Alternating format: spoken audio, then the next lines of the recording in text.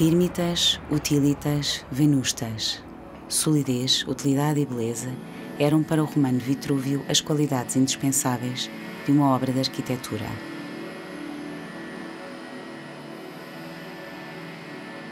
Estas premissas, enunciadas no século I a.C., foram sendo questionadas e atualizadas ao longo do tempo, acompanhando as transformações políticas, económicas, sociais, culturais e técnicas. A teoria e a prática da arquitetura, em continuidade ou ruptura, procuraram sempre responder às necessidades coletivas.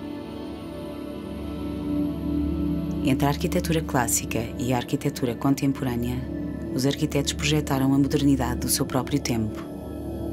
A modernidade não é um estilo, mas uma forma de pensar e um modo de agir.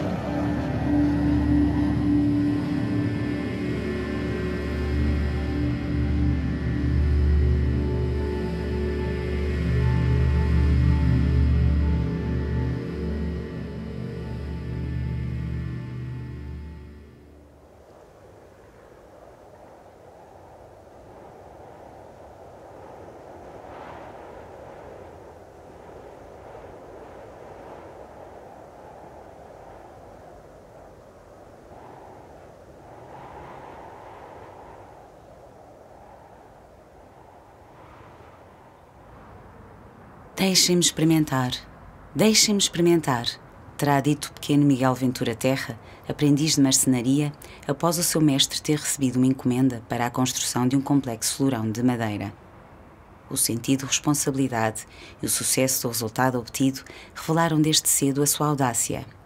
Esta história, contada ainda hoje por familiares, é uma memória que perdura da sua personalidade.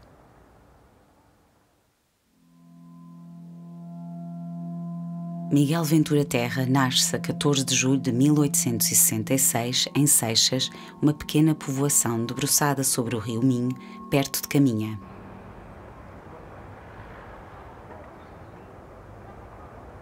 É o 13 terceiro e último filho de uma família modesta. À semelhança de muitas outras famílias do norte de Portugal, três dos seus irmãos emigram para o Brasil ainda muito jovens. Ventura Terra evitará este destino.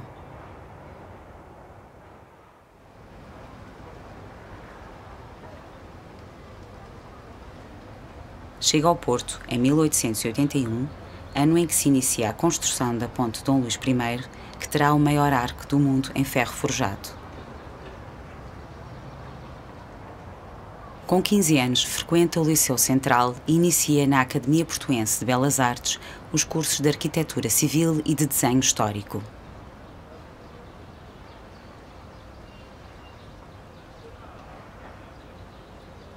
Destaca-se precocemente através da sua participação em concursos escolares onde obtém duas menções honrosas. perante as dificuldades económicas para pagar os estudos e o alojamento, vai dar aulas de desenho para o Instituto Minerva. Em 1885, conclui o curso e fica em primeiro lugar no concurso para pensionistas do Estado da classe de Arquitetura Civil.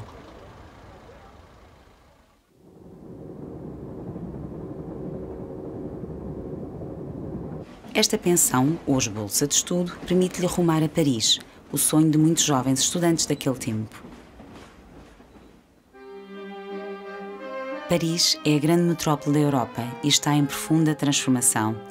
Surgem amplas avenidas urbanizadas, novos boulevards, praças, jardins e parques que resultam das transformações urbanísticas projetadas por Haussmann. A cidade celebra o seu cosmopolitismo. O desenvolvimento urbano acompanha o aumento da população, o progresso e a importância política e cultural crescente da capital francesa.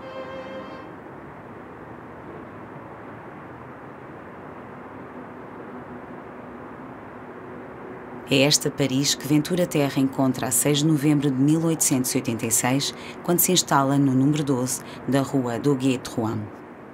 Nesta pensão residem outros portugueses, entre os quais o escultor António Teixeira Lopes, que ficará seu amigo para o resto da vida.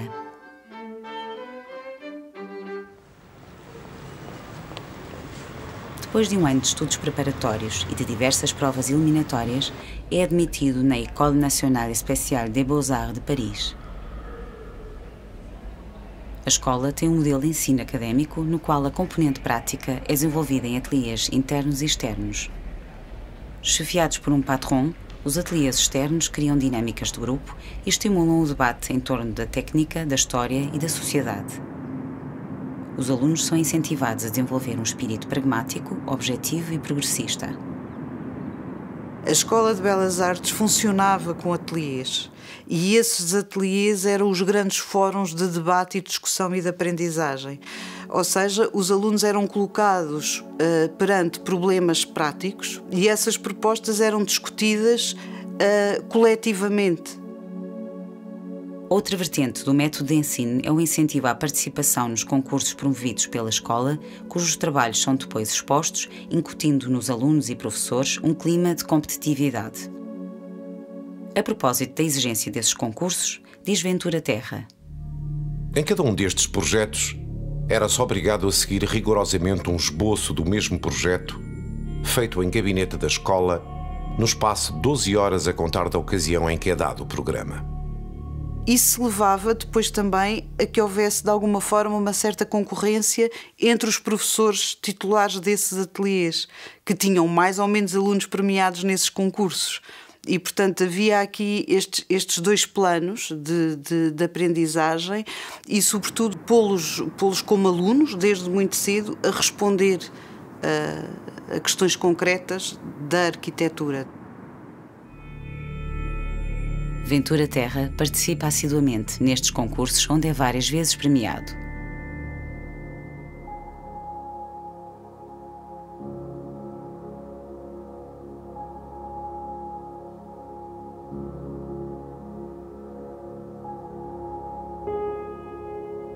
Ventura Terra acompanha a construção da Torre Eiffel, erguida à entrada da Exposição Universal de 1889 para celebrar os 100 anos da Revolução Francesa. No percurso parisiense é fundamental a sua aprendizagem no ateliê do reconhecido arquiteto Victor Laloux. Professor influente e respeitado, no seu ateliê debatem-se os valores da tradição clássica e a sua transformação e adaptação à vida moderna, preparando os alunos para as novas tecnologias de construção. o grande ateliê do Lalu, que é um dos ateliês mais extraordinários onde trabalham centenas de estudantes ao mesmo tempo todas as partes do mundo, entre eles alguns poucos portugueses, entre eles o Miguel Ventura Terra, incorporam maciçamente as questões tecnológicas. Eles estão absolutamente atualizados com aquilo que vem da engenharia.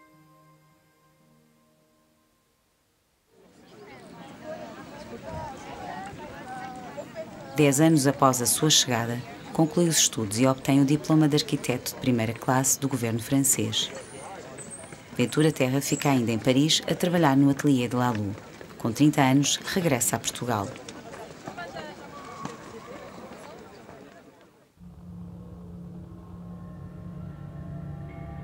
Lisboa vive um período politicamente conturbado, marcado pelo ultimato britânico de 1890 e pela ascensão republicana. Embora de forma inconsistente, a cidade está numa fase de crescimento, fruto da dinâmica iniciada na década de 70.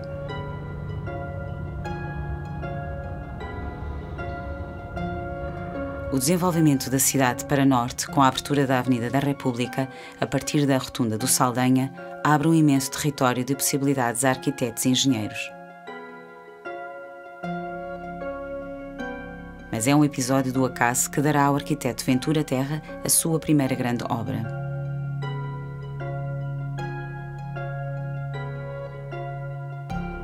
Um violento incêndio deflagra na velha sala das sessões da Câmara dos Deputados no decurso dos trabalhos de reparação da cobertura. Apesar das limitações financeiras do reino, este facto permitirá a ansiada reformulação do Palácio das Cortes.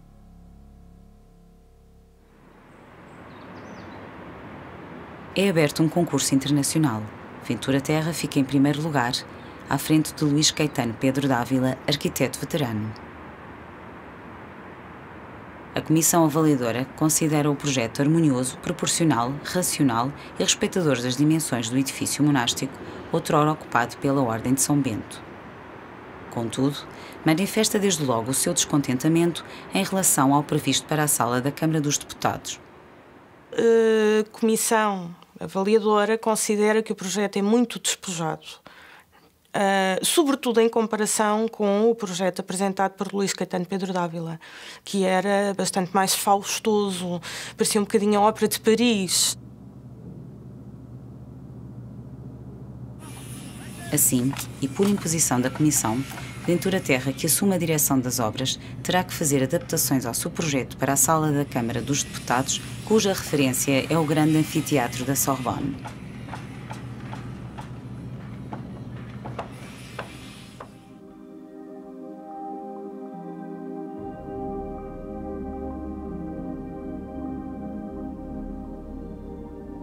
Após várias divergências com o Conselho Superior das Obras Públicas e com a Comissão Avaliadora, chega a soluções de compromisso sobre a altura do pé direito, a curvatura do teto, a ossatura metálica da cúpula e o formato da claraboia.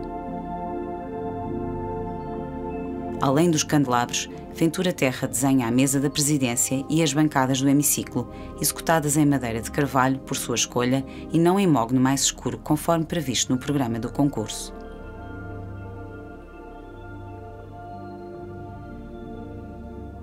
O regulamento apontava para uma simetria entre a Câmara dos Pares, atual Sala do Senado, e a Câmara dos Deputados.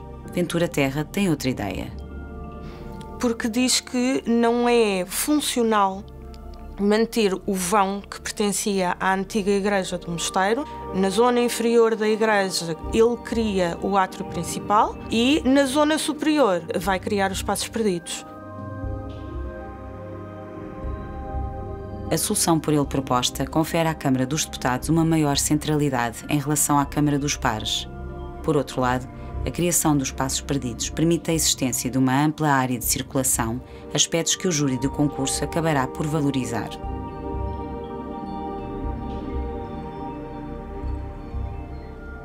Ele não respeita a planta nem a especialidade do edifício, mas respeita e valoriza a qualidade dos materiais.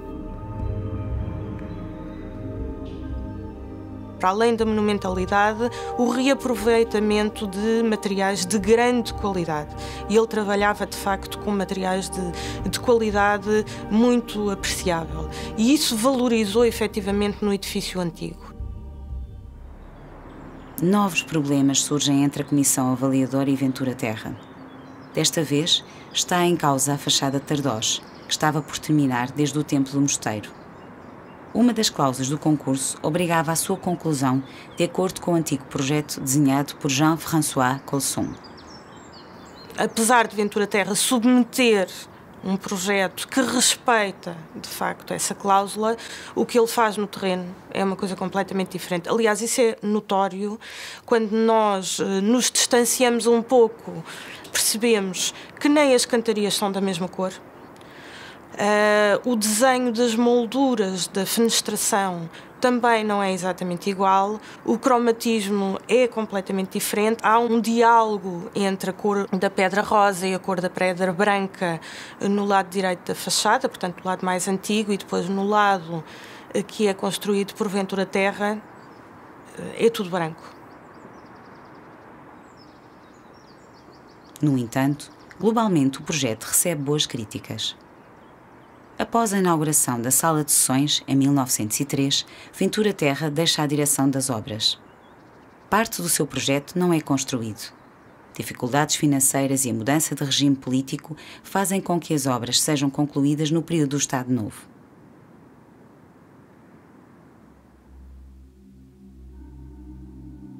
Por encomenda da Rainha Dona Maria Pia, Ventura Terra remodela uma pequena capela existente no Palácio da Ajuda.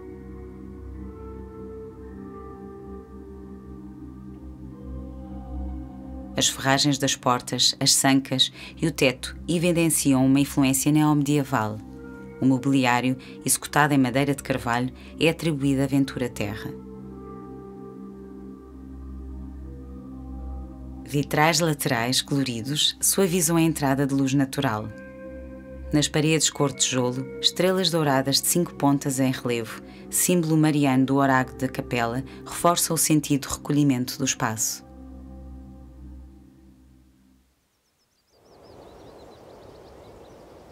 Em breve, Ventura Terra receberá uma outra encomenda, agora para a região do Minho, em Viana do Castelo.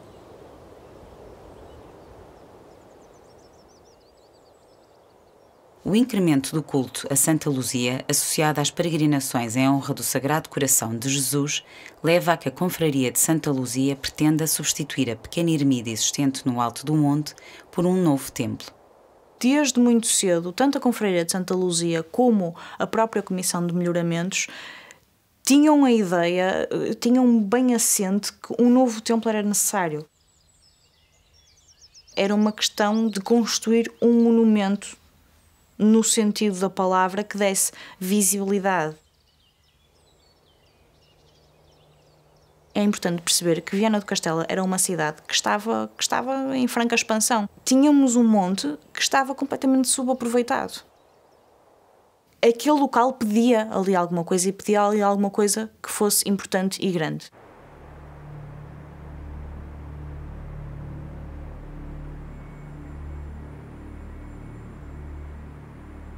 Só quando, quando a Confraria e a Comissão de Melhoramentos chega à Ventura Terra é que, por fim, se encontrou o arquiteto que é capaz de cumprir com o programa que estas instituições tinham para o local de Santa Luzia.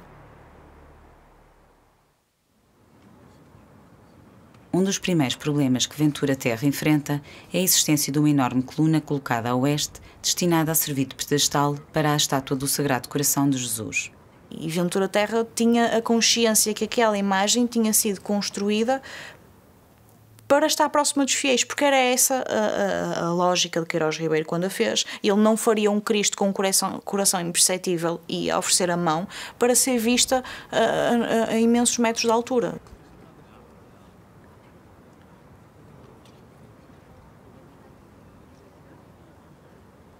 E, e, a forma também de dele complementar este conjunto foi pegar na, na, no pedestal que entretanto já tinha sido construído e que já não tinha utilidade e criou outro igual, outro igual e colocou o santuário no meio, fazendo ali, traçando ali uma simetria.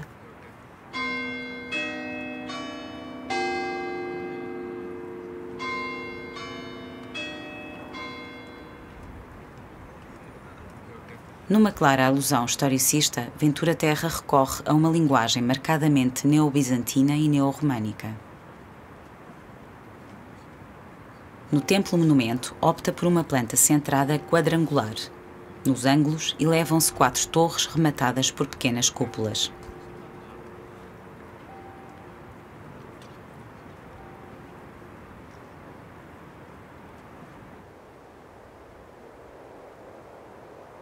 É curioso porque quando nós vemos Santa Luzia cá debaixo da cidade, uh, ela parece enorme lá em cima. Nós subimos o monte e quando lá chegamos e quando temos Santa Luzia à nossa frente, ela parece-nos mais pequena, mais compacta.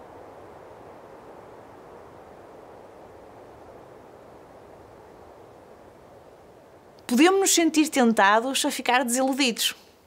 Mas isso é enganador, porque entretanto nós entramos no edifício e quando entramos no edifício temos uma percepção de espaço fabulosa. Temos outra vez o sentimento monumental que Ventura Terra imprimia às suas obras.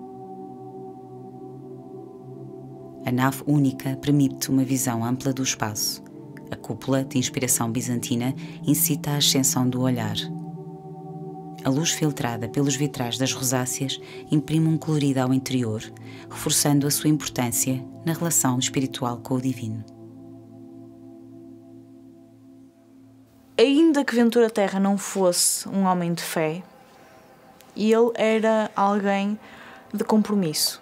E ele podia não ser religioso, mas eu creio que ele entendia esse sentimento.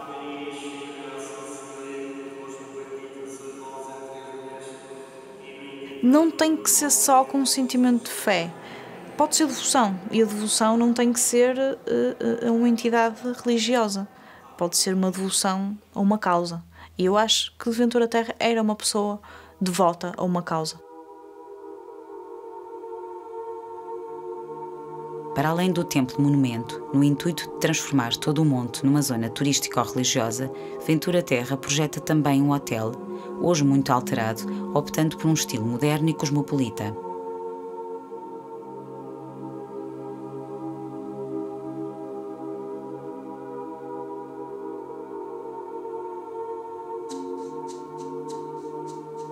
O edifício é construído numa cota de terreno superior, oferecendo aos hóspedes uma panorâmica privilegiada do templo.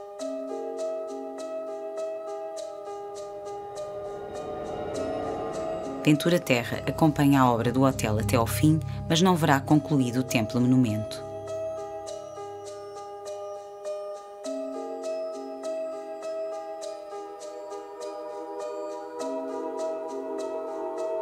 Toda a gente, toda a população esteve envolvida neste grande projeto. Ele demorou 50 anos, mas ele teve a colaboração de todas as pessoas de Viana do Castelo. E, portanto, isto é um monumento para aquelas pessoas. Não é só um monumento a Santa Luzia, não é só um monumento ao Sagrado Coração de Jesus. É um monumento àquela população. Uh, e Ventura Terra compreendeu isso e também ele deu o seu contributo não só naquilo que nos deixou, mas também, e porque sabemos que fez o projeto gratuitamente e o ofereceu à Confraria de Santa Luzia.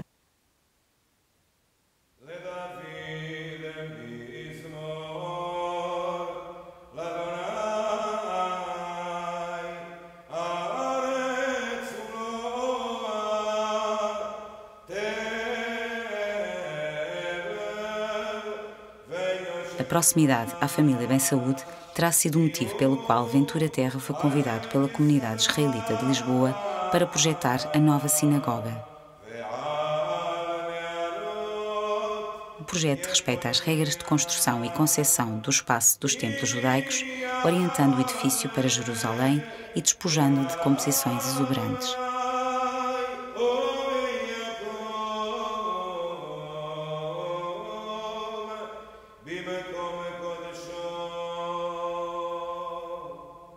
De acordo com a Carta Constitucional de 1826, era permitido aos estrangeiros terem locais de culto de religiões não católicas, embora estes não pudessem ter qualquer sinal exterior de templo.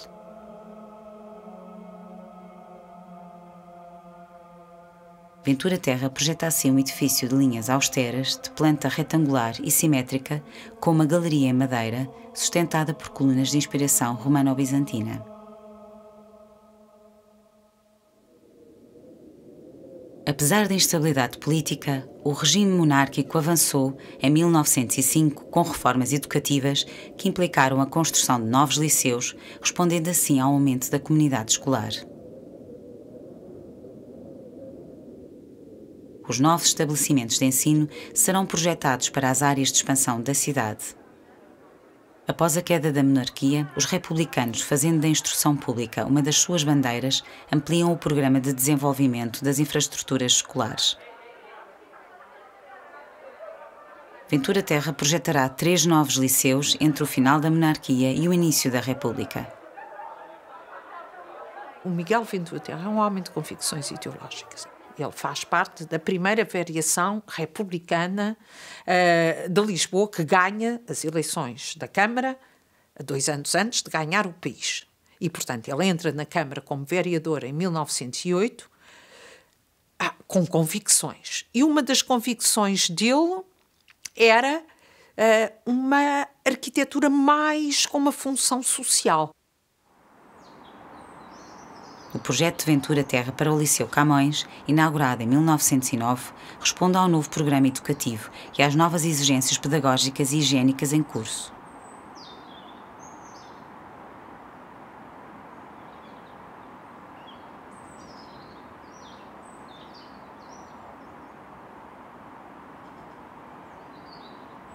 A sua planta em tridente cria dois espaços de recreio simétricos, ligados por uma ala onde se localiza o ginásio.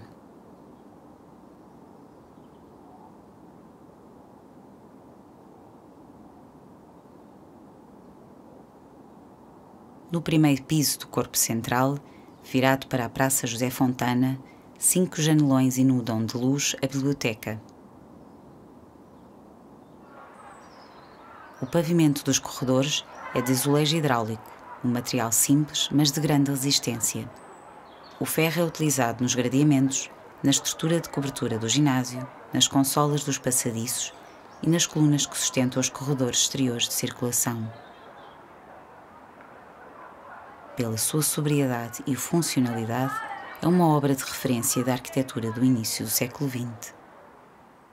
Você, quando vê a planta e mesmo a composição do Liceu Camões, nada distingue esta obra de uma obra que pudesse ser feita 20 anos depois. Uma planta que tem em conta os circuitos, que tem em conta as necessidades do ensino moderno, com facilidade de acesso, com pátios de distribuição.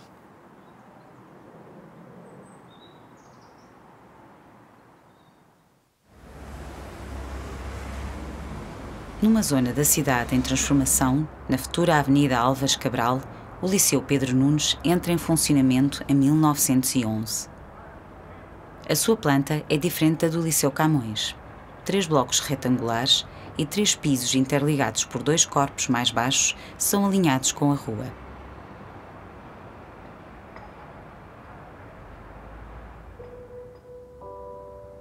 Os espaços nobres têm boa exposição solar, assim como a caixa das escadas dos edifícios laterais e o ginásio com as suas grandes janelas envidraçadas.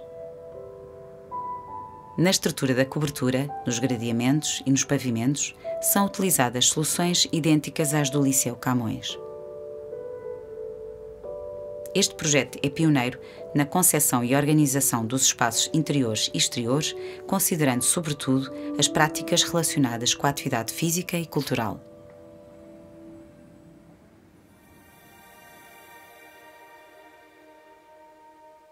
Ventura Terra projeta também a atual Escola Secundária Maria Amália Vaz de Carvalho, próxima do Parque Eduardo VII, primeiro liceu feminino concebido de raiz.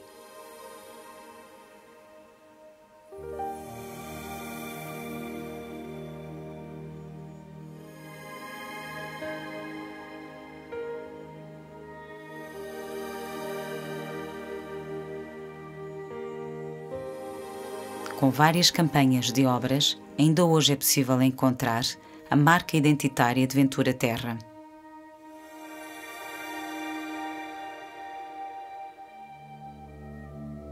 A notoriedade de Ventura Terra é crescente. Com grande capacidade de trabalho e pragmatismo, responde a encomendas que lhe chegam um pouco de todo o país.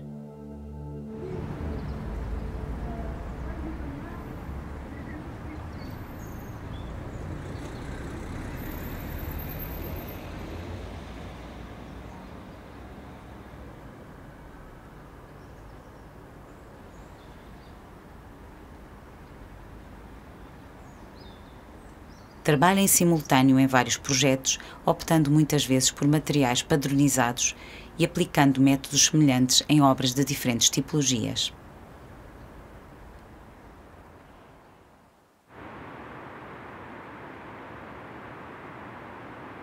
Em Lisboa, projeta tanto para as áreas de expansão da cidade quanto para as áreas urbanas consolidadas.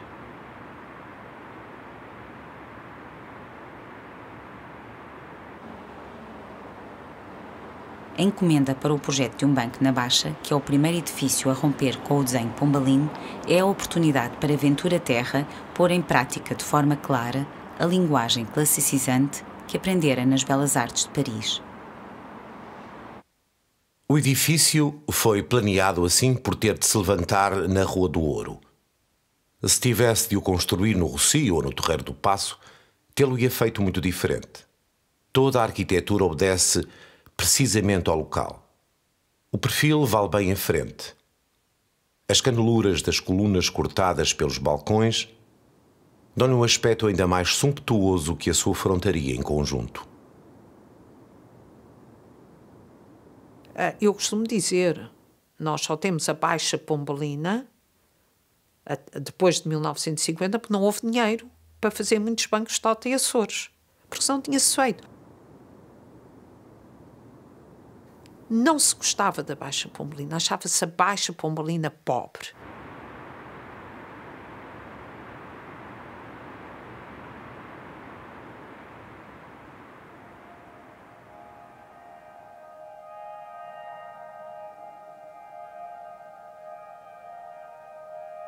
Por encomenda de Luís António Pereira, empresário que fizera fortuna no Brasil, Ventura Terra projeta na Rua das Portas de Santo Antão, uma outra zona antiga da cidade, uma moderna sala de espetáculos para música e teatro. A sua aprendizagem parisiense é sobretudo evidente na organização dos elementos decorativos da fachada que marcam a entrada principal, nos espaços interiores do vestíbulo e no foyer que contrastam com a simplicidade das escadas de acesso às galerias superiores.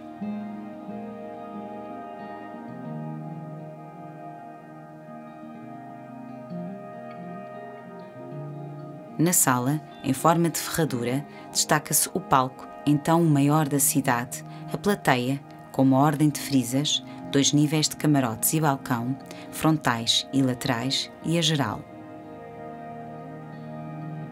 Tanto o arco do proscênio como os camarotes são profusamente ornamentados com estuques decorativos.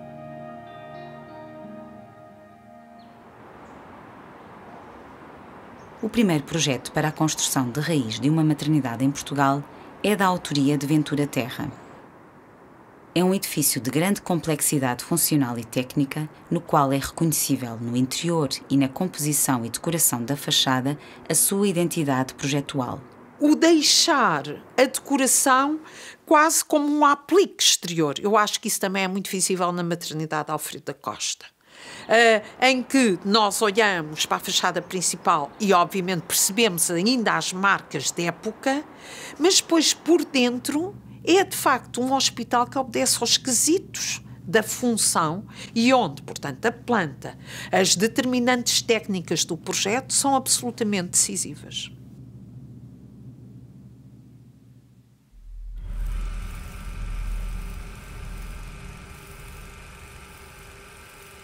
Por ocasião da Exposição Universal de Paris de 1900, Ventura Terra ganha o primeiro prémio do concurso público para a construção dos dois pavilhões de Portugal.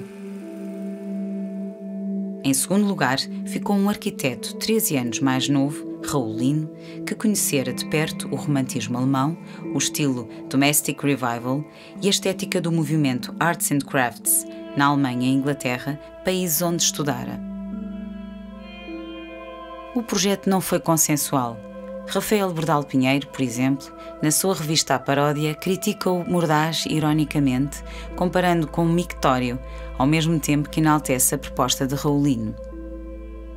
Dois projetos que enunciam duas linguagens distintas que se refletirão na teoria e na prática da arquitetura portuguesa.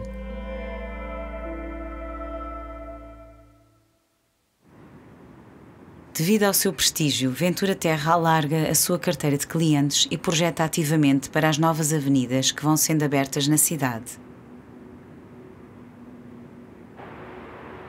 Ele tem uma apetência uh, pela cidade, uh, pela cidade, por exemplo que uh, o leva a um confronto muito interessante com o, o Raulino, não é? O Raulino pensa uh, a arquitetura sempre a partir da casa.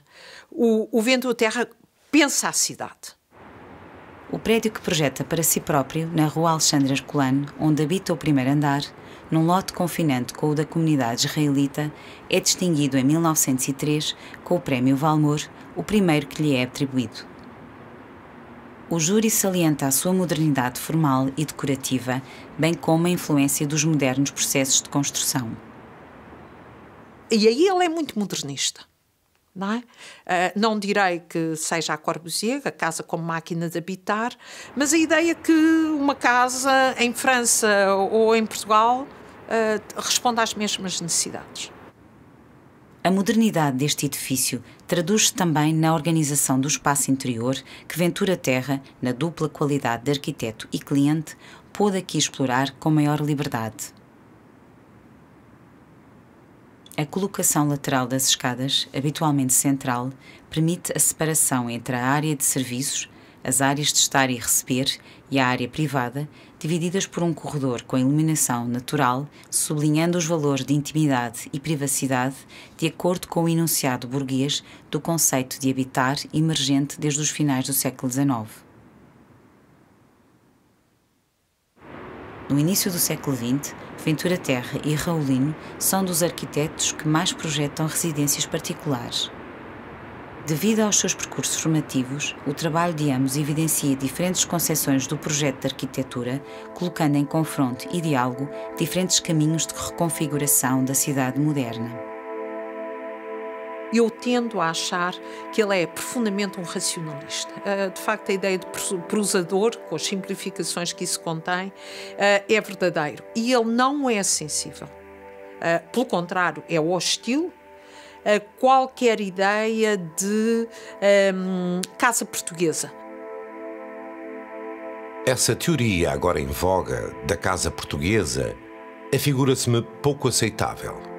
Por exemplo, eu, que sou minhoto, conheço magnificamente bem a Casa do Minho, mas transplantá-la para Lisboa, em que divergem os modos de vida, não é só inestético, mas ilógico.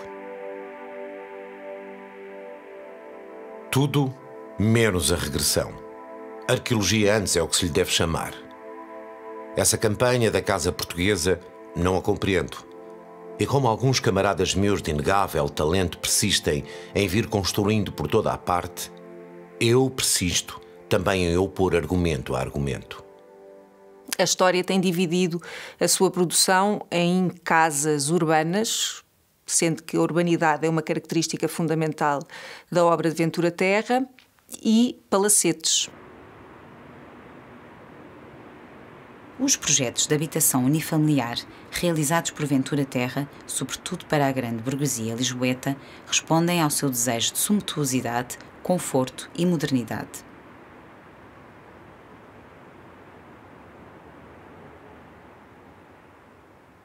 São disso exemplo a casa do José Silva Graça, diretor do jornal O Século, e o palacete de Henrique Mendonça, um abastado produtor de cacau em São Tomé e Príncipe.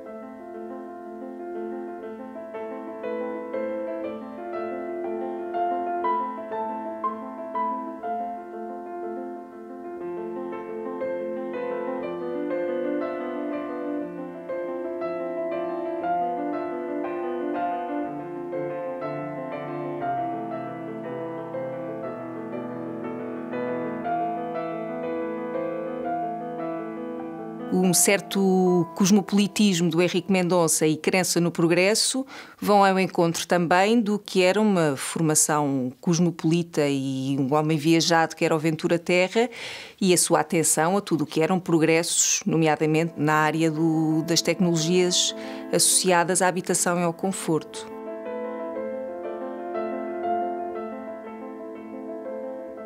O desenhar uma grande escadaria e ter um, um lindíssimo elevador, que foi dos primeiros a ser instalados em Lisboa, é motivo para desenhar um espaço muito qualificado.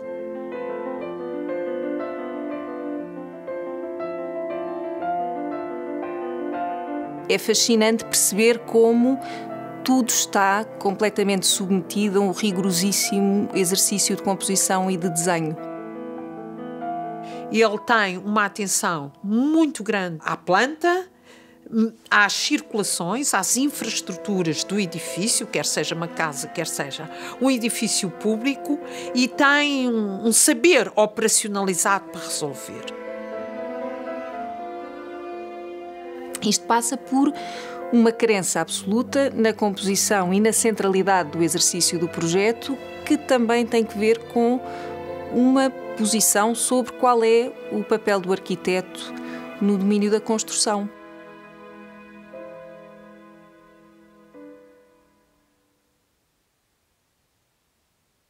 As transformações verificadas nos finais do século XIX e início do século XX tiveram implicações diretas no desenvolvimento e na construção das cidades.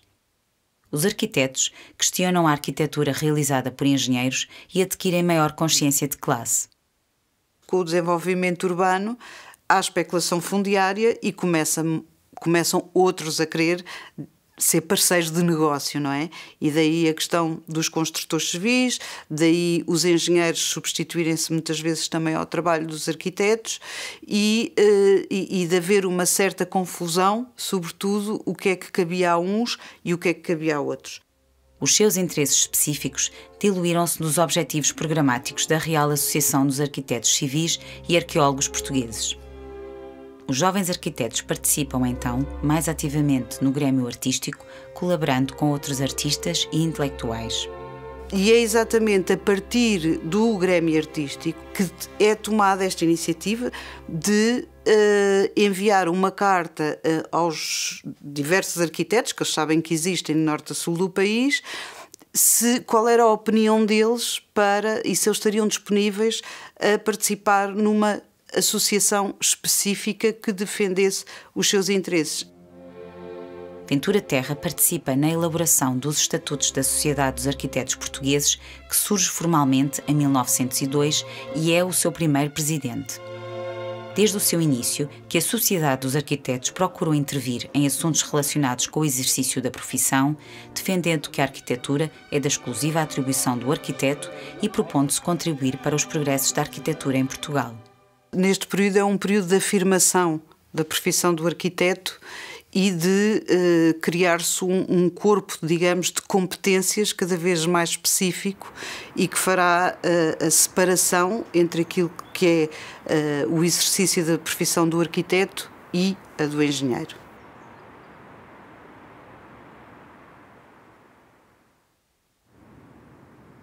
Ventura Terra frequenta regularmente a casa da família Teixeira Lopes, mantendo relações de amizade e de trabalho, sobretudo com António Teixeira Lopes.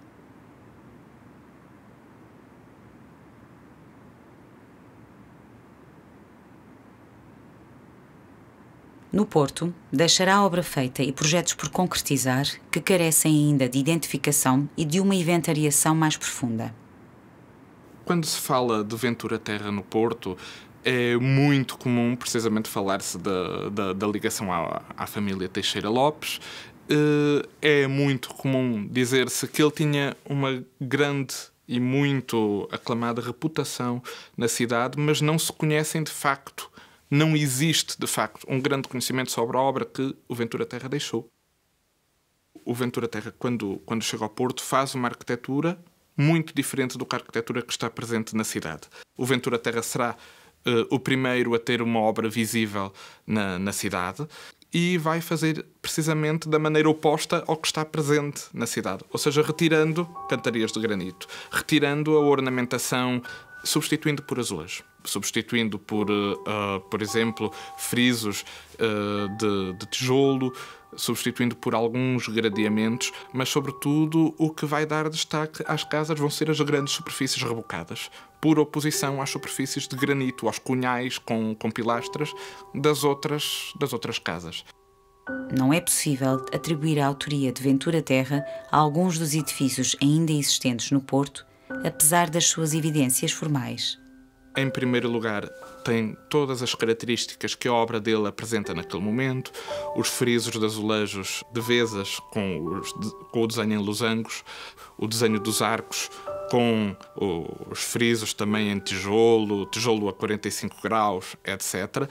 Também a grande semelhança Uh, com as casas que ele faz no Monte Estoril, que têm um desenho em planta idêntico, um alçado posterior idêntico, portanto apenas diferem ligeiramente no alçado principal.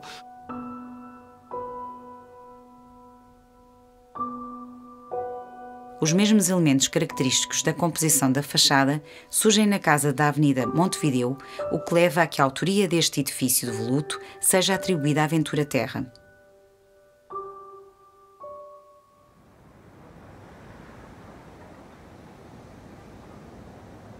Também a sua passagem pela Pova do Varzim necessita de investigação mais aprofundada.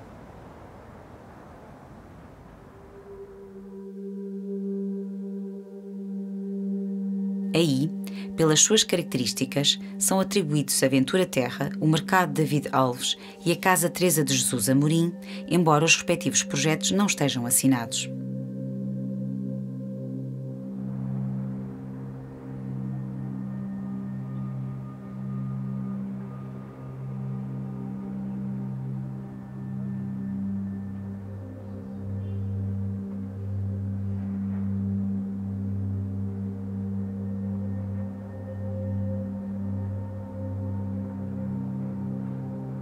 Apesar destas incertezas, é incontornável que Ventura Terra realiza uma arquitetura singular, marcando indelevelmente os edifícios de habitação unifamiliar.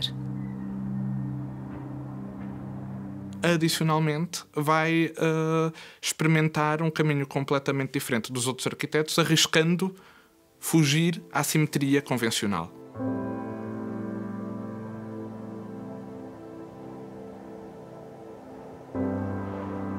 A oposição entre a fachada principal e a traseira dilui-se. As portas e as janelas assimétricas são rematadas por lintéis discretos de pedra ou tijolo. Os materiais padronizados são habilmente utilizados articulando a função técnica com a decorativa, como por exemplo o uso do ferro nos varandins e nas sacadas.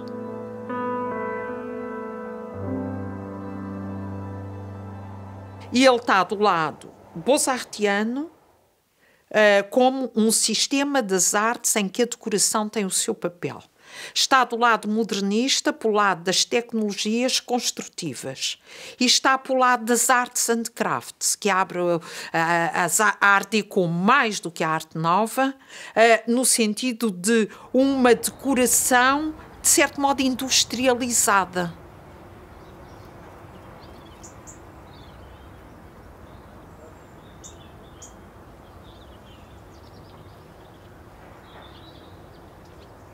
A propósito do uso das persianas, Ventura Terra dirá: Que o emprego da persiana apenas ao exterior das janelas não esteja mais generalizado é muito de estranhar, pois que é do uso corrente em todos os países mediterrâneos da Europa. Persianas têm a grande vantagem de resguardar a habitação da ardência do sol, sem privar simultaneamente a boa ventilação, tamizam a luz de um modo muito agradável.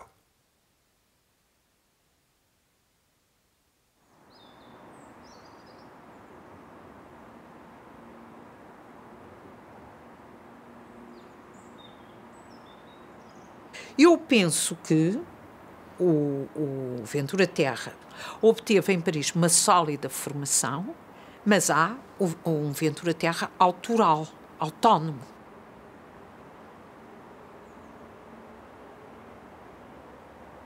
Eu creio que se nota uma certa apetência dele pela simplificação da composição. Ele adapta-se à encomenda, é um um, trabalhador por conta própria. E isto sai do sistema bolsartiano, porque o sistema bolsartiano é da grande encomenda pública. Ah, eu concordo completamente com o Pedro Vieira de Almeida, quando hum, afirma que o modernismo em arquitetura em Portugal uh, nasce mesmo desta geração.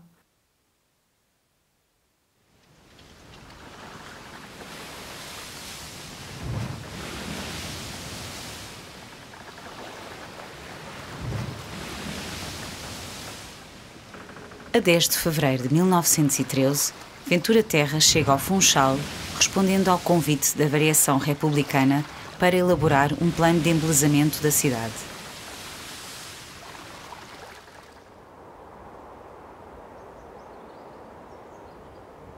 Este plano surge da necessidade de modernizar a cidade para dar resposta ao crescimento do turismo na ilha, dotando-a com novos equipamentos e infraestruturas. Este projeto trata principalmente a resolução do problema da aviação pública. No meu plano de melhoramentos, atendi principalmente aos seguintes factos: arejar a cidade, ligar os diferentes bairros por grandes ruas transversais, desafogar algumas praças públicas e tornar mais estética a povoação. Procurarei fazer um projeto que, sendo cumprido à risca e com um certo critério, deverá equiparar o Funchal às mais modernas cidades europeias. Ventura Terra baseia-se nos conceitos e na prática urbanística francesa que conhecera de perto e que continuava a acompanhar. Propõe a abertura de uma ampla avenida marginal, eixos viários separados por placas centrais arborizadas e largos passeios laterais, rotundas, praças, parques ajardinados e a construção de um casino junto ao cais. Como solução para o problema higiênico e estético da Ribeira de Santa Luzia, projeta uma cobertura em abóbada de berço contínua de betão armado.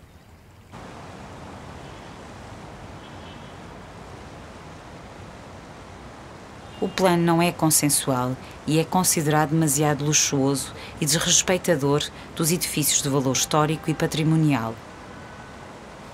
A instabilidade política e a entrada de Portugal na Primeira Guerra impossibilitam a concretização do plano, do qual apenas foi construída a parte entre a Sé e o Jardim Municipal. Os futuros planos de urbanização da cidade do Funchal, nomeadamente dos anos 30 e 50, terão em consideração muitas das suas intenções.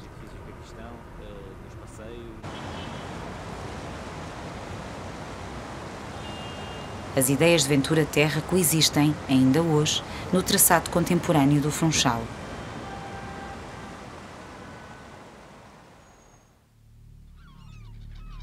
Em 1908, Ventura Terra é eleito vereador da Câmara Municipal de Lisboa na lista republicana.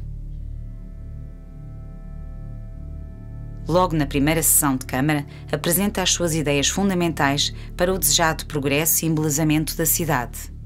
Há uma grande dispersão e, e no fundo, era um sentido uh, de, de exercício de profissão, sobretudo do contributo que ele, como cidadão, através da sua profissão de arquiteto, poderia dar para o, o, o, a melhoria da qualidade de vida, para esse tal embelezamento da estética urbana da cidade.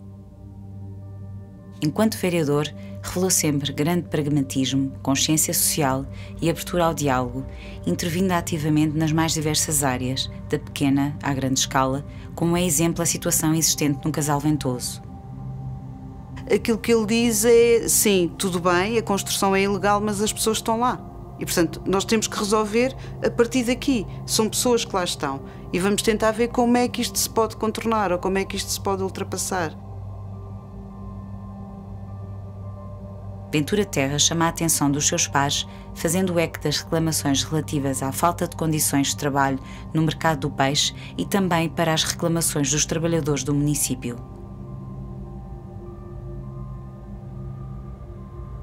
Apresenta também propostas como a criação da Comissão de Estética Municipal e a organização dos serviços da terceira repartição de obras, desdobrando-a em duas repartições técnicas, a da arquitetura e a de engenharia.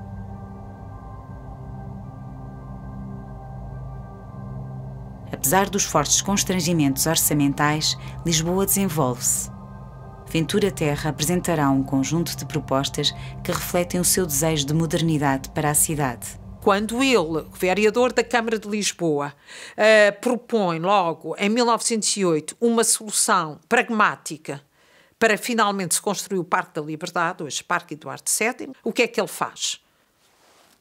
Corta uma faixa para abrir uma rua, à futura da Sidónio Pais, para lutear, fazia dinheiro e com isso a Câmara podia fazer o parque.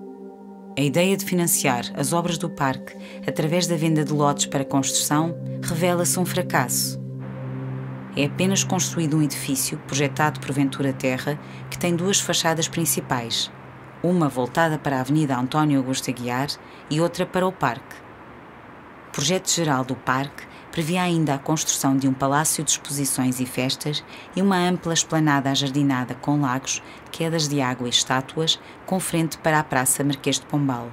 Um, um grande parque da cidade, um pulmão da cidade, que tirasse partido do próprio declive do terreno relativamente a, a, a, um cenário natural que era o Tejo ao fundo. É muito claro nele a noção de que a cidade velha tem que ser mais operacionalizada e que essa cidade velha continha potencialidades e tinha que ser remediada, resolvida. É preciso tornar Lisboa uma capital europeia. Portanto, a questão da estética urbana e do embelezamento da capital está sempre neste período na ordem do dia.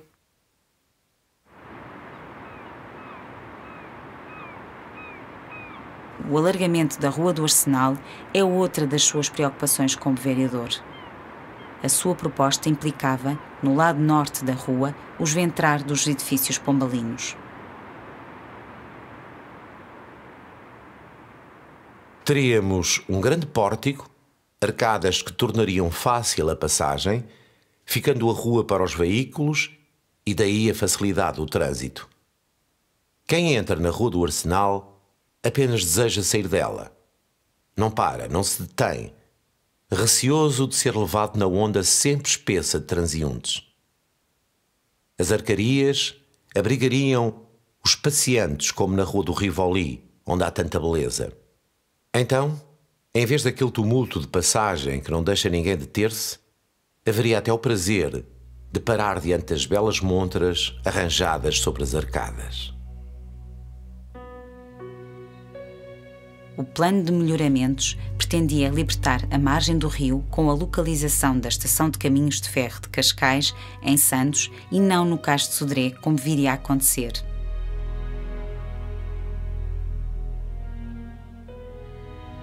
Para esta zona, previa a criação de um amplo passeio com áreas ajardinadas, a construção de dois mercados, o de peixe e o agrícola, e a edificação de palácios de festas e hotéis. Nos extremos do passeio, propunha dois embarcadores com pavilhões de apoio. É, é realmente muito parco nos seus orçamentos e consegue.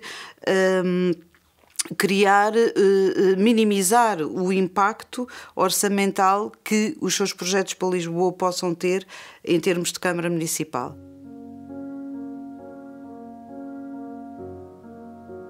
O projeto de uma ponte sobre o Rio Tejo fazia também parte da Lisboa imaginada e desejada por Ventura Terra, ligando o Alto de Santa Catarina ao Forte de Almada. Uma ponte avenida monumental lançada sobre o Tejo ligando Lisboa com as encostas da outra banda. Cerca de 50 metros acima do Tejo, a ponte proporcionaria um dos mais belos panoramas que a imaginação humana pode conceber. Entraves burocráticos e a profunda crise económica e política em que mergulha a Primeira República inviabilizam a concretização deste plano e de outros projetos de intervenção na cidade, idealizados por Ventura Terra.